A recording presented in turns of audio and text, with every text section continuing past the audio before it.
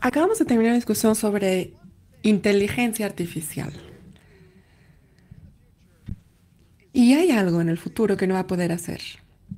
Educar a gente exitosa. Esto es algo muy difícil de hacer y hay alguien que nos va a hablar de esto, de lo que ha estado haciendo. La experta en educación y experta en eh, el programa de arte en educación en las eh, escuelas de Palo Alto.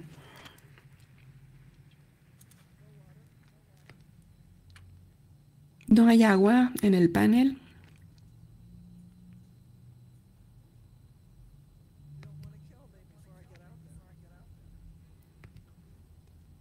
No quieren que me muera antes de llegar ahí, ¿cierto? Muy bien.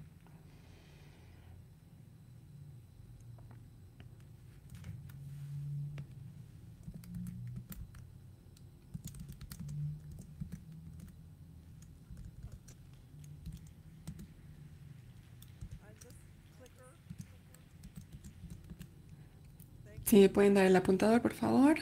Ahí viene. Estoy muy contenta de estar aquí con ustedes. La última vez que estuve aquí, la primera vez que estuve aquí fue hace 30 años. Muchos de ustedes ni siquiera estaban vivos. Y ahora, cada 10 años, regreso. Y les puedo decir que cambia muchísimo y en el buen sentido. Me encanta hasta ahora. Entonces, bueno, mi objetivo es tratar de ayudarlos a educar gente exitosa. Este es el, el título de mi plática de esta tarde. Y hoy me di cuenta de que debería de llamarse más bien cuánto talento, cuánto talento tenemos, cuánto talento necesitamos. Estas son lecciones muy fáciles para tener resultados increíbles. Y no se decepcionen si de pronto lo que están haciendo no da resultados inmediatamente.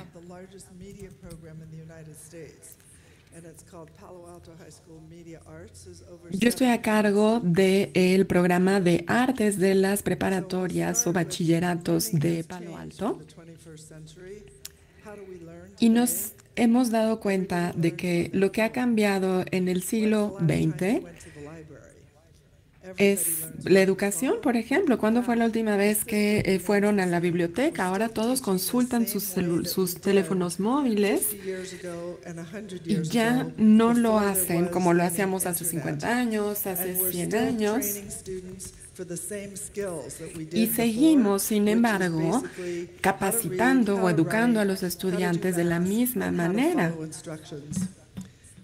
y cómo seguir instrucciones. Les enseñamos a, lo mismo que enseñábamos hace 50 o 100 años. Así se veía, así era la educación antes. Cuando estaba solo el estudiante, los estudiantes, el maestro, la maestra, alzaban la mano, decían algo y la siguiente persona también alzaba la mano y preguntaba algo al um, docente.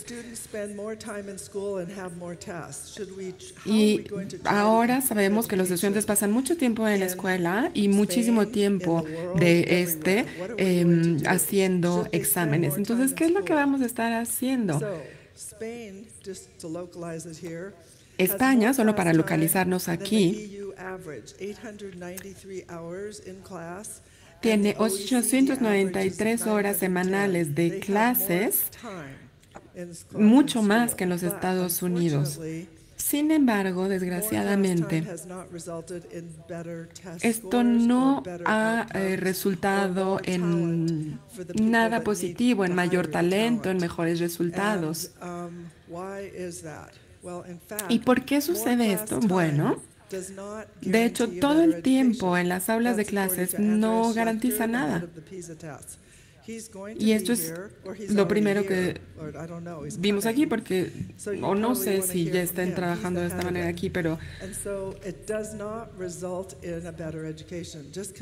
el tiempo eh, pasado en las aulas no significa que habrá una mejor educación. Lo que pasa en clase es lo que realmente importa, lo que están haciendo los estudiantes en el tiempo que están en la aula es lo que va a mejorar la educación. Solo así se puede mejorar su desempeño académico. Si realmente pasan tiempo los estudiantes en ver cómo se solucionan los problemas en vez de memorizar nada más. Y todo se trata de memorizar, no solamente aquí en España, sino en Alemania, en Francia. Se trata todo de memorizar. Entonces hagamos menos trabajo de memorización y más contribución de análisis. ¿Pero por qué? ¿Por qué estamos memorizando? Pues para pasar los exámenes. Y la pregunta es, ¿memorizar es aprender? ¿Aprendemos realmente cuando memorizamos todo? Las estadísticas dicen que incluso si tienes el 100% positivo en un examen dos días después de esta prueba, solo vas a recordar 32%. ¿Eso es aprendizaje? Entonces, esta es la pregunta. ¿Qué estamos haciendo al forzar la memorización? Estamos todavía preparando estudiantes para el siglo pasado, donde esa era la única habilidad que queríamos que tuvieran. Antes no había computadoras, no había teléfonos móviles. Si no memorizaba las cosas, pues no tenía nada. Y si no sabía usar una biblioteca y el sistema decimal, pues no sabía nada. Pero hoy, en mi bolsillo, ya traigo una gran enciclopedia, nada más en mi celular, porque todo mundo tiene en su bolsillo un teléfono móvil. Y lo que yo sé es cómo, o lo que debo saber es cómo utilizar de manera inteligente este teléfono, es decir, cambiar la cultura del aula. Y esto es muy difícil de hacer. Entonces, aquí hay algo interesante para ustedes. Hay dos instituciones que, son muy, que se resisten mucho al cambio. Una es la escuela. ¿Por qué? Porque el propósito es perpetuar la cultura en la escuela. Entonces, para ellos es muy difícil cambiar esto. La segunda institución que se resiste mucho al cambio, mm, no sé si ustedes puedan adivinarlo, ¿alguien sabe cuál es la segunda institución que es imposible cambiar? No veo ningún voluntario, nadie levanta la mano. La iglesia, exacto. La iglesia nunca va a cambiar. Entonces estas son las dos instituciones que realmente son imposibles de cambiar. La gente trata, pero no, no funciona. Entonces, bueno, una prueba. Eso es lo que todo el mundo para comparar si... Eh, ¿Qué país es el mejor? Por cierto, son Finlandia y Singapur. ¿Quiénes son los peores? Entonces una prueba pues no tiene pensamiento crítico, no está, o sea, está nada más midiendo la memorización de los hechos. Estamos memorizando hechos, estamos perdiendo el tiempo, pero no está midiendo su capacidad de resolver problemas. Piensen en lo que van a hacer sus hijos, sus nietos. ¿Tienen oportunidades reales de eh, resolución de problemas? Entonces, tenemos que enfatizarnos en, eh, en seguir las reglas y eso es lo que hacemos porque pues tenemos estudiantes que a lo mejor están callados, pero se ven muy bonitos. Y bueno, Einstein dijo que no podemos resolver un problema con lo mismo con lo que lo hicimos. Entonces tenemos que ver cómo vamos a resolver nuestros problemas. Algo que estamos teniendo como problema como planeta es el cambio climático. ¿Cómo vamos a resolver este problema? Entonces, las primeras 10 cualidades. La una, la primera es resolver problemas complejos. Número dos, pensamiento crítico. Número tres, creatividad. Quiero saber, ¿ustedes pueden aprender cómo ser creativos? Y hacemos una presentación sobre esto. O, por ejemplo, si ven un programa de cómo ser creativos, ¿cómo se aprende a ser creativo? De hecho, ¿Cómo se aprende a ser un pensador crítico? Pues las experiencias en las aulas. Porque en las aulas de clase porque la mayoría de las personas pasa ocho horas al día, los estudiantes, en clase. Entonces hagamos que valga la pena sus ocho horas aquí. La experiencia es la única manera de aprender esto. Entonces, mi sugerencia para cambiar las escuelas, porque bueno, ya dijimos que las escuelas no quieren cambiar, es muy difícil que lo hagan, si quieren y están conscientes de que tiene que cambiar un poquito. Entonces, mi sugerencia es cambiar 20% a la vez, solo 20%. El 80% de las veces tenemos los programas o currículos normales, 80% de las veces. Hacemos exactamente lo mismo. Únicamente 20% se puede consagrar a lo que podemos llamar, eh, no sé, tiempo de genialidad, de creatividad, como le quieran llamar, pero un tiempo para que los estudiantes hagan algo. Y esto quiere decir, se llama aprendizaje em, centrado en los estudiantes. Por ejemplo, Google tiene, los empleados tienen un tiempo, es decir, trabajan 20% de su tiempo en algo que ellos creen que va a mejorar el mundo.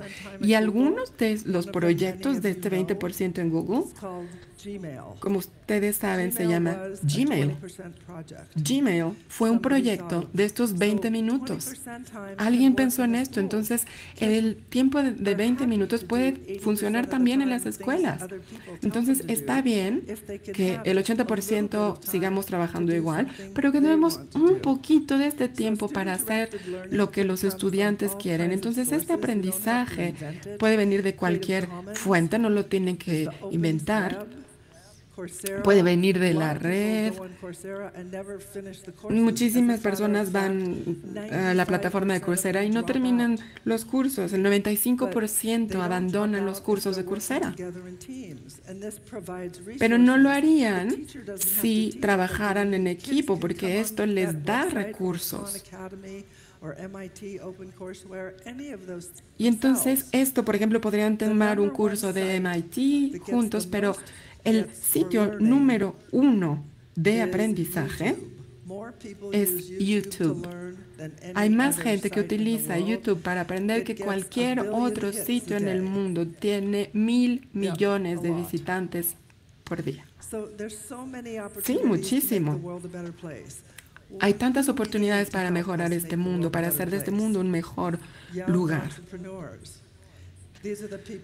Los emprendedores jóvenes son los que van a tener la oportunidad y que van a tener ideas muy emocionantes, entonces hay que darles esta oportunidad. La creatividad es algo que necesitamos motivar. Les voy a dar un ejemplo de algo que probablemente no sepan. Eh, surgió en 1968 en el Salón de París, que era donde se exhibía el mejor arte del momento. Entonces había un grupo de jóvenes que querían exhibir su arte y se les negó el acceso. Entonces suplicaron y suplicaron y finalmente los aceptaron en el salón. Y este es uno de los artistas. ¿Alguien lo conoce? ¿Saben quién es? es Renoir. Y este es otro. Monet. Más 10 más, incluyendo a Van Gogh. Todos fueron rechazados en el salón. Los mandaron al basurero. ¿Por qué? porque eran pensadores independientes que no estaban siguiendo las reglas, entonces no los estaban recompensando. Necesitamos pensadores independientes porque son ellos los que mejoran al mundo. Entonces hoy nos enfocamos en la memorización y tenemos que cambiar ese enfoque. Es lo que Robinson decía. Para estar bien en este mundo, no hay que prepararse también para equivocarse. Y por eso Tenemos actualmente un sistema de recompensas en el que tienes que estar bien. Steve Jobs, ¿qué dice? Piensen de manera diferente. De hecho, hace algunos años, su hija estaba en una de mis clases, entonces venía y bueno, Steve Jobs era un padre que nada más venía a la clase y se sentaba y veía cuando quería. Entonces, esta idea de tener en el bolsillo un teléfono móvil mm, estaba en mi cabeza y yo decía, Dios mío, ¿qué sigue? Pero antes de esta idea, tuvo la gran visión de seguir sus sueños. Entonces, ¿cuáles son las características de la gente exitosa? Característica número uno de la gente exitosa es gente que se siente empoderada para seguir sus sueños. Piénsenlo un segundo. Si sientes el poder de seguir tus sueños, vas a ser una persona mucho más feliz. Pero si de alguna manera sientes el propósito para seguir tus sueños, esto va a ser una gran diferencia. Otra característica de personas que son eh, exitosas simplemente piensan diferente. La independencia, la experiencia en el aula de clases, esto es lo que crea la creatividad. Y eso es lo que queremos, creatividad.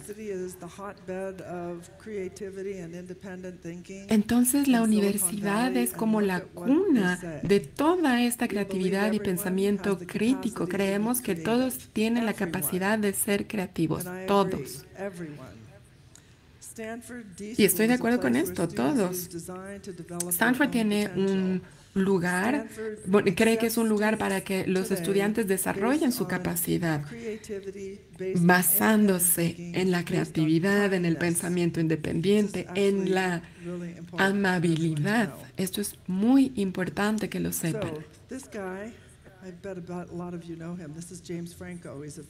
James Franco, no sé si lo conozcan, es un actor muy famoso y fue mi estudiante. Entonces, en el décimo y décimo primer grado, era muy bueno en matemáticas, porque su padre fue matemático. Y entonces su familia creyó que James también iba a ser un matemático. Incluso trabajó en la NASA, pero James decidió en el décimo segundo grado que no iba a ser matemático, que quería ser actor.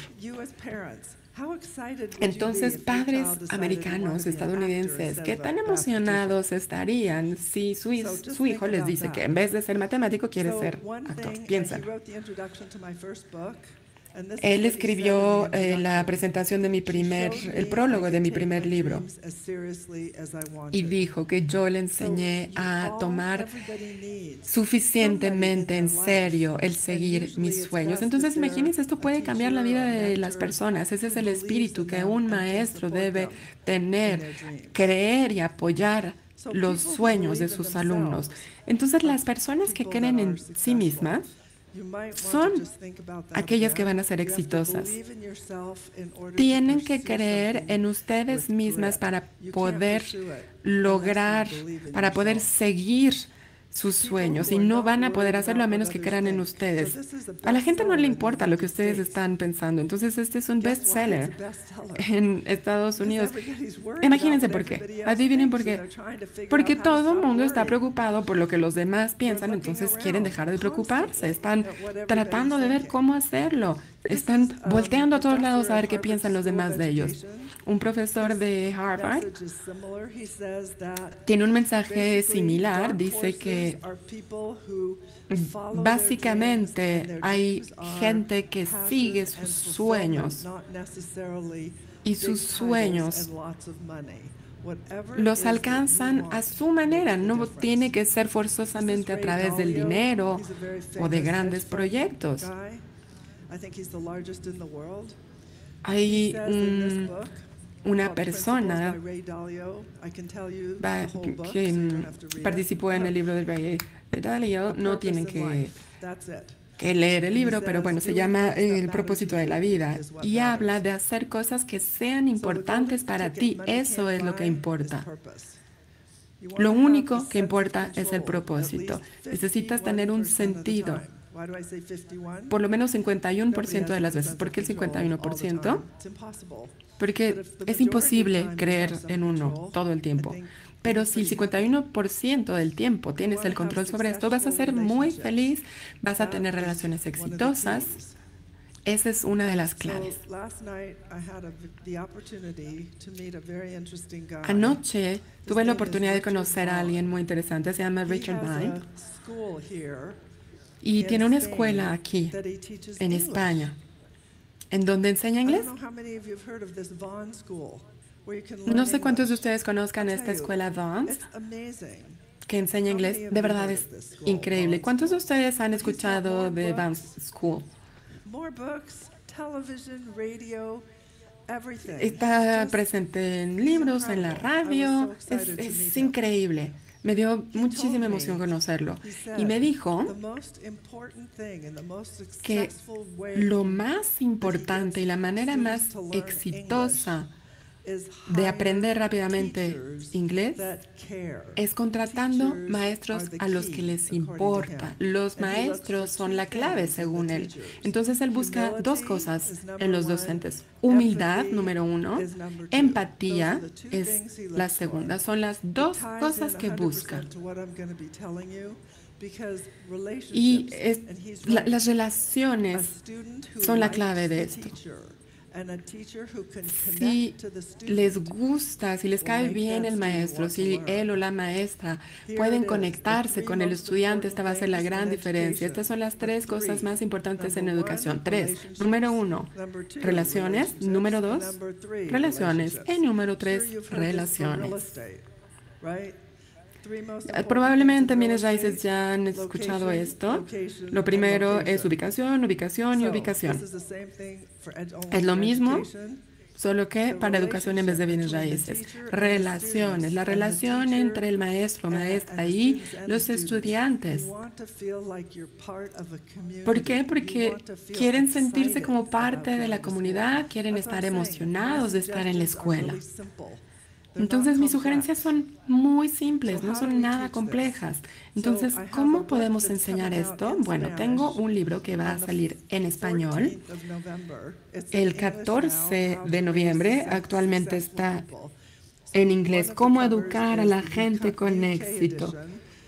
Hay una edición inglesa que está disponible aquí y después también tenemos la versión estadounidense, pero no es muy honesta. Y la tercera es la versión en español que va a salir en noviembre. Y digo más o menos lo mismo. Pero bueno, son tres portadas diferentes porque una salió en eh, mayo, el 7 de mayo, y en los Estados Unidos se vendió en dos semanas. Entonces, bueno, estamos pensando eh, publicar más. Por cierto, hay una escasez de papel, no sé 100% por qué, pero bueno. En mi primera diapositiva voy a hablar de TRICS, que es un acrónimo de cinco elementos. Esto es cómo hacer que cada uno de los maestros de cada aula se convierta en una estrella. Lo que vamos a hacer es empoderar a los docentes. La T es por trust en inglés, confianza. Independencia, colaboración y amabilidad. Y esto conforma el acrónimo TRUST. Esta es como un bonus de lo que he estado presentando para que haya respeto, para que el maestro esté interesado en sus estudiantes. Entonces, una vez más, acuérdense, es, este, es confianza, respeto. Porque también es muy importante estar bien con los padres de los estudiantes, porque 85% de la capacidad se está desarrollando en los primeros cinco días. Si no lo saben, es importante saberlo. En los primeros cinco años tienen que poner atención en lo que le dicen a sus hijos porque esto es crucial. Después ya va más em, dirigido hacia los docentes. Pero bueno, les voy a decir quiénes fueron mis primeros eh, experimentos, mis primeros eh, conejillos de India. Bueno, pues mis hijos en 1968, mi primer hijo nació, después Janet fue la segunda y después tuve una tercera. Entonces intenté todos estos métodos en mis hijos de 1 a 5, de 5 a 10 años. Algunas de estas cosas funcionaron, otras no. Hubo un poquito de caos en mi casa, pero bueno. Entonces, para aquellos que no lo sepan, les voy a enseñar quiénes son, así se ven hoy en día mis hijos. Eh, la del medio es Susan. Susan es la presidenta de YouTube. El segundo. De este lado tenemos a Anne y ella es fundadora y presidenta de 23andMe. Y después tenemos a Janet con la chaqueta, profesora en el Centro Médico Pediátrico trabajando en epidemiología. Entonces, el hecho de que se hayan sentido empoderados de seguir sus sueños y de hacer lo que les importa en este mundo es pues no es un camino fácil. Y esta es una de las razones por las que creo que pudieron lograr ser exitosos en su camino académico, porque tenían el sentimiento de que podían hacerlo. Y yo traté de que todos mis estudiantes lo tuvieran en mis clases, que se respetaran a sí mismos, que, que tuvieran confianza en ellos mismos. Y ese es un problema general. Mucha gente no cree en sí misma. No se perdonan a sí mismos si se equivocan. Y deberían deberían perdonarse a sí mismos. Entonces confíen en ustedes y así van a creer en ustedes. Es un principio muy simple. Hubo un estudio en niños de eh, kindergarten que no tenían nada que ver con lectura. Aquí están los resultados las habilidades de relaciones sociales. Una vez más, se trata de creer en ustedes, respetarse, trabajar en cosas que realmente les interesan. Entonces, mi sugerencia es, dejen que los chicos resuelvan problemas, que exploren. El conocimiento, el aprendizaje de pares no es tan rápido, yo sé, pero es muy bueno. Todas las eh, investigaciones sobre educación han demostrado que eh, no hay mejor maestro para un niño que su par, su igual, otro estudiante. Entonces, háganlo en las primarias, háganlo en todas las escuelas. Dejen de, compararlos, de hacer este ambiente competitivo entre ellos, todos los padres. No sé si esto pasa en España, pero en Estados Unidos se compara todo. Es como, ay, este niño todavía no ha hecho esto, entonces no es tan bueno. Lo que más buscan es si ya pueden ir, o sea, antes de aceptar a un niño a la escuela, lo de las primeras cosas que buscan saber es si el niño ya sabe ir al baño. Es decir, ¿qué diferencia haría? Hay que dejar de comparar a los niños. Hay que dejar de memorizar. Los maestros se tienen que enfocar en tricks hay que dejar de estigmatizar los errores. El sistema educativo está hecho para rastrear los, los eh, errores y esto solo aleja a la gente de su potencial.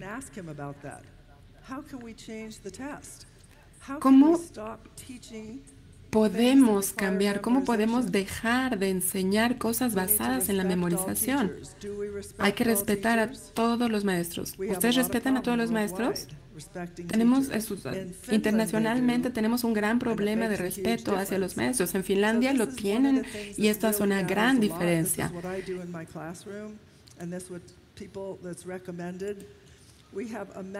Y eso es lo, lo que recomendamos opposed en, to nuestro- the no, typical en el salón tenemos un sistema de maestría. Te dan una nota not solamente si te conviertes en un maestro de ella. Así que si te toma tres veces escribir una tesis, te damos la nota al final. Si te toma lo mismo para aprender los conceptos, sigue mastery haciéndolo hasta que lo, lo- pressure. El sistema de máster recorta la presión. Hay dos grupos trabajando en Mastery Connect, que es- una empresa enorme en, Estados. Unidos. So helicopter parenting, Así que, eh, ser padre helicóptero. Padres helicópteros son padres que tienen miedo de cometer errores, pero he escuchado aquí en España eh, este concepto ha sido reducido. En Estados Unidos es una epidemia And el padre eh, por helicóptero. Los padres, los niños no tienen control y obviamente los padres están tratando de darle demasiada ayuda a sus hijos, limpiándoles el camino para que no se tropiecen. Este es de la de The "Worldwide, Guardian. John Harston dijo. Padres Tóxicos. Yo nunca he visto este nivel tan fuerte de toxicidad en los padres porque no saben qué hacer. Piensan que to todo es su responsabilidad. Aunque sea, no le echan la culpa al niño, tienen que darle la responsabilidad al niño, ¿verdad? Esta es la Asociación Psicológica de Estados Unidos con las, las estadísticas de Estados Unidos. Es 84%, muy, muy malo. 84% of students feel 84% unable to cope. de los estudiantes? Sienten que no pueden lidiar con sus problemas. ¿Por qué? Porque los padres hacen todo por ellos antes de tiempo, ¿verdad que sí? Y se sienten incapaces de poder este, resolver sus propios problemas. Eso hace sentido, ¿no creen? Entre más padres y, y maestros controlan los chicos, los chicos se sienten que no pueden hacer nada. Esto es una estadística muy, muy mala. Y esta es otra estadística 2000. muy, muy dulce, muy, muy mala. Eh, la tasa de suicidio I muchísimo. Esta es una teoría que yo promuevo. Del libro de Malcolm fish Capítulo in a 3. little pond Es mejor ser un gran pescado en un arroyo pequeño que al revés, porque tu ego se mejora cuando and tú eres un gran pescado en un arroyo pequeño. Como te dije antes, es muy importante para ti sentirte tan empoderado como puedas. So just statistics from Stanford Así que las estadísticas de Stanford prueban que esto es verdad. Esta teoría del gran pescado en el arroyo pequeño, eh, reciben mejores apoyos, de todo. Esto también es del New York Times.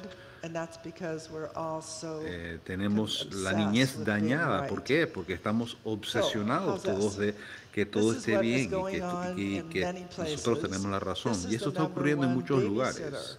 Este es el número uno. El cuidador o la cuidadora o la nana le dan un teléfono. ¿Por qué es mala idea darle un teléfono? Because from zero ¿Por to qué? five, you De are 0 a training 5 children años estás entrenando a los niños a, vivir en el mundo. Y si tú piensas que estás aburrido en el mundo, buscas un celular electrónico una tablet, eso es lo que vas a hacer para el resto de tu vida. It's 100%. Eso, eso interfiere con la creatividad del you are 100%, creative. porque si estás aburrido, es- eres creativo. Si no estás aburrido, no eres creativo, ¿verdad? Tu creati- la creatividad nace con el, estar aburrido, ¿verdad? ¿Y qué ocurre cuando le das un dispositivo electrónico a un niño de positive 0 a 5 example. años? Le quitas la creatividad. Les voy a dar un ejemplo. Esta es mi clase. Yo utilizo If you look at este the back modelo of the donde picture, you'll vayas. see la verdad es un buen, buen ejemplo. Yo utilizo, yo puedo utilizar cualquier tema, geografía, inglés, periodismo, etcétera. Pero yo estoy, yo estoy enseñando periodismo en estos momentos y por eso lo, lo estoy usando. En este programa de arte tengo 700 estudiantes, 10 publicaciones, una revista, un periódico, website, televisión, radio y diseño gráfico gráfico. Este es una escuela pública, no es una escuela privada. Siempre lo tengo que decir porque todos piensan que es una escuela privada. Hay seis maestros que se enseñan nada más a enseñar artes plásticas. Este, así se ve, es un centro de 25.000 metros cuadrados. Lo construimos hace cuatro años. Antes de eso estuve 30 años en este edificio. En edificios portátiles. Así que así se ven las clases. Si notan, no hay un podio. Así se ven las, las clases. Así se ven los muebles. Se notan que los muebles se pueden mover. En la mayoría de las universidades los muebles son estáticos, ¿verdad? Así que tienes que, tienen que pensar en cómo hacer eso. Aquí hay más este es un periodo normal de clases, este es otro periodo de clases, distintos chicos en distintos lugares de la escuela.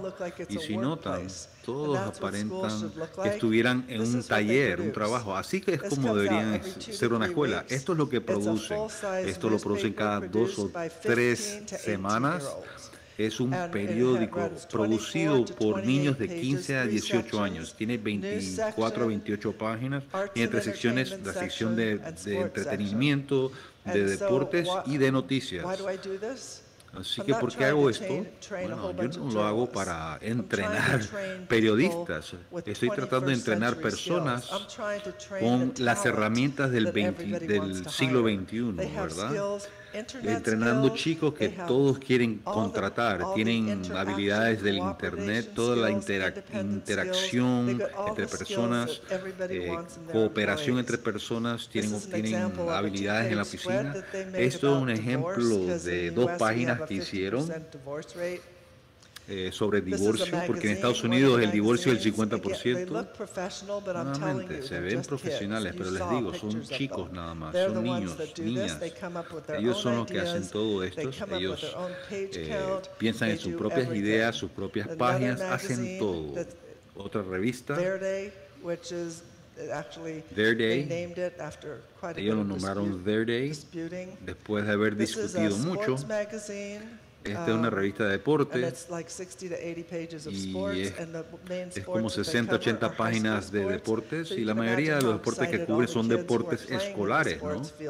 Estaban emocionados de todos los chicos en esto y les encanta que los cubran en esta publicación y obviamente los padres, todos les encanta que sus niños salgan en una revista. Ellos reciben los mejores premios en Estados Unidos, son los ganadores constantemente de lo mejor. ¿Y quién paga por por esta escuela ellos mismos. Nadie los, los apoya porque los porque los estoy entrenando a ser emprendedores. Entonces tienen que pagar las cuentas. Si ellos no reciben suficiente eh, eh mercadeo, ellos tienen que venderlo, como tú. Es difícil. 80% del tiempo las personas lo rechazan. Oye, no quiero hacer eso más. Es tan difícil. You're getting trained Pero, for the hey, real world. Perfect. Están entrenando para el mundo That's real, exactly perfecto. Eso es exactamente lo que ocurre en el mundo real. Así que esta presión los mantiene motivados. Ellos son dueños y controlan la publicación. En todos los años que he estado ahí, nunca, jamás no han publicado, siempre han publicado, sí, siempre surge el dinero y siempre es aprendizaje en el mundo real, están aprendiendo cosas nuevas todos los días. Este es un ejemplo, este es la hija de Steve Jobs, ella escribió este libro, fue un libro bien controversial porque habla la verdad desde su perspectiva de quién es su padre, nuevamente James Franco, el actor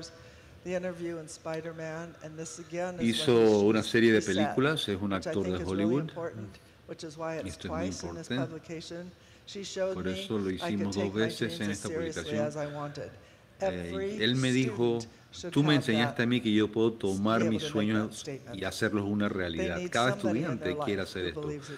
Todo estudiante necesita a alguien en su vida que cree en ellos. ¿Qué pueden hacer ustedes? Bueno, implementar este, políticas que apoyan este, este periodo de 20% del tiempo. Imagínate, cinco días al día trabajas y no te gusta tu trabajo, pero los fines de semana puedes tener esperanzas, ¿verdad? Puedes hacer Permite que tus niños tengan 20% en la escuela. Cambia las políticas de educación. Empieza pequeño cambios pequeños todos los días, porque es difícil hacer cambios grandes. Un poquito de respeto, un poquito de confianza, un poquito de colaboración. Así que ahorita mismo, siempre Sit, de stay heal. Nunca pienses y, no ves y seas tú mismo. Asegúrate que no hagamos estas cosas malas para los, nuestros chicos. También estamos haciendo algo nuevo que acabo de empezar. Una amiga mía que era la líder de Microsoft en, en Canadá escribió, escribió un libro que se enfoca en, en emprendedores y lo hicimos juntos y vamos a tratar de ayudar compañías a hacer esto también. No solamente escuelas, no solamente padres, pero, pero compañías. Cómo eh, el cariño que le das y cómo tratas a tus empleados es la clave, ¿verdad? Así que mejoremos el mundo entero de alguna forma. Educación, ser mejores padres y el, el trabajo. Gracias, muchas gracias.